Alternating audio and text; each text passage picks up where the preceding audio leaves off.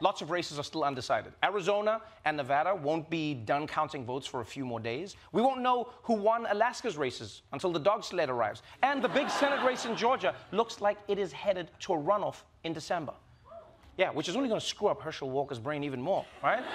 Don't think about it, like another election. Has it been six years already? Oh man, that means I got 35 children now. What's happening? Oh.